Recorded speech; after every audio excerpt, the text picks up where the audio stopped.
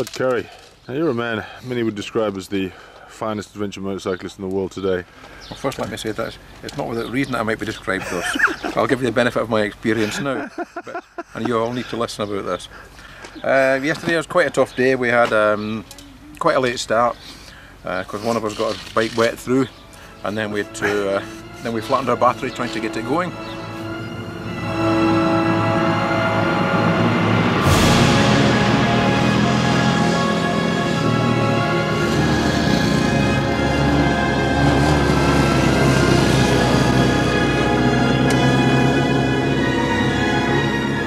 Terry Brown, he's conditioned to the heat because he just drops his drops his trousers.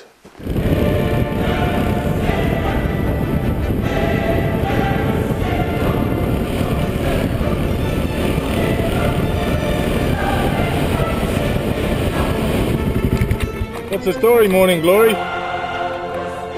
Fucking thing! Well, it was a nice little hoot along while it lasted. And Rod does pick the best places to break down.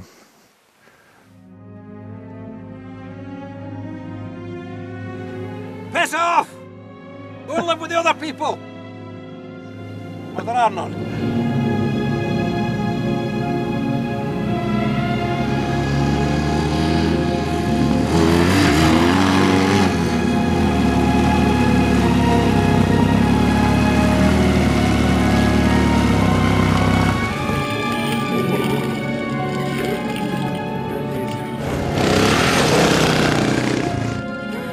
Back there, stand it back, there you go.